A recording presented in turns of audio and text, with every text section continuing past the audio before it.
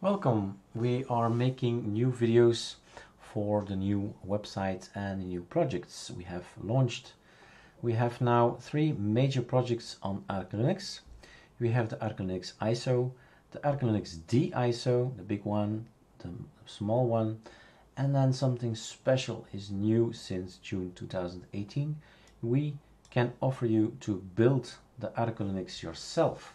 So you can decide what goes on it and you can decide what goes off from it. So that's all up to you. You run a script and you have an ISO. This video is going to be about Arch Linux D ISO. ArcoLinuxD stands for choose the desktop, start with a minimal installation, edit and run the scripts to set up your system. That's the goal. In the meantime, I have installed ArcoLinuxD and I'm booting, booting now from the VirtualBox with this second line because this is the ISO that's still in there and this is grub. So this is what you normally get on an SSD or a laptop or PC and then we boot into ArcoLinuxD and this is it. So after a graphical installation that's no problem uh, like ArcoLinux you get a graphical way to install everything that's shown in another video well many videos actually but this is what you get. Now you have to do some stuff. Now, I'm not going to install everything, but I'm going to show what it feels like, what it looks like. So we have here, we can update the system with PKSUA. That's maybe something you can do. Might take a while because it's an ISO of a week ago. 665 megabytes and let's really think it's 30, yep, that's a week ago. So that's how Arch Linux works. A lot of information, lots of updates coming in. And um, well, we're basically every day we're typing PKS UA. Now, where does it come from? Maybe an interesting tip for you uh, VirtualBox users. Look me, look what I'm doing. I have the keyboard in front of me, the right control, F3, and I'm in another TTY. You see there, TTY3 and I can log in again and show you other stuff like mirror. And mirror is a command that we use to get the fastest service around. So if you're living in Australia or in America, it's going to be a different server, right? And you want the fastest server in your for your system. So that's that's what this thing does, mirror. That's done. And why all these strange words? I've never seen this in any other distro. It's because we are lazy, because we can't remember basically all these things. And almost in the middle, um, middle you can see mirror. sudo reflector protocol, HTTPS, blah blah blah, etc. You know? I rather type mirror. The same applies for a little bit down there. PKSYUA is actually Yaourt minus SYU AUR no confirm. So it's easier to remember a shortcut or an alias and uh, there are other aliases quite interesting in there but these two are interesting for you to know. So right control F2, F1, F2, F3, F4, F5 so you can navigate to these elements. So we have updated our system. Great. Now, if you saw something in there that was called Linux, then that's your kernel. My advice is always reboot.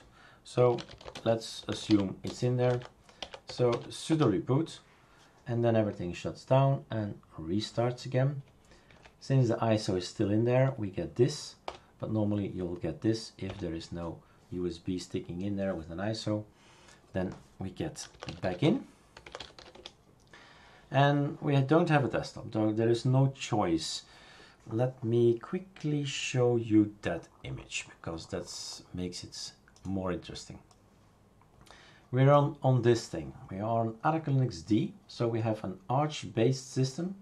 And you choose OpenBox or i3 or BSPWM or Mate.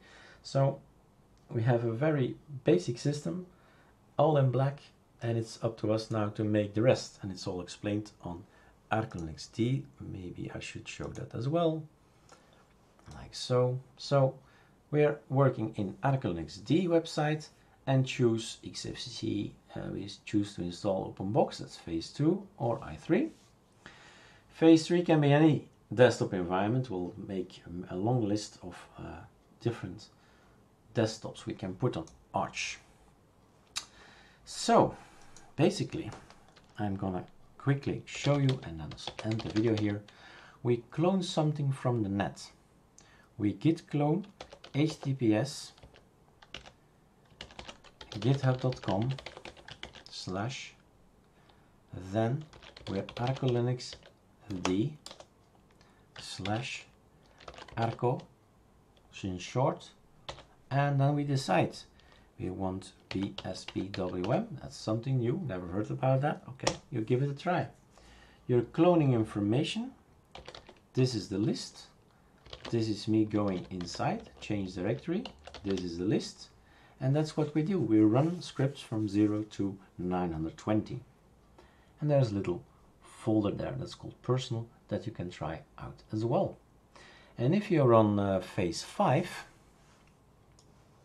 if you're on phase 5 and you're you want to have an Arch Linux 100% Arch Linux installation starting with the Arch ISO that's great. Then you're gonna need this folder here that's called Archway. And then you can try that as well. So it's really a trial and, and a learning um, experience that we want to sell eh? and so we want to well avoid the frustrations as frustrations as much as possible. We give you all the knowledge with videos and articles. The only thing you have to do is first search for them look for them. If there are issues put them on the forum. We can chat with each other in discord.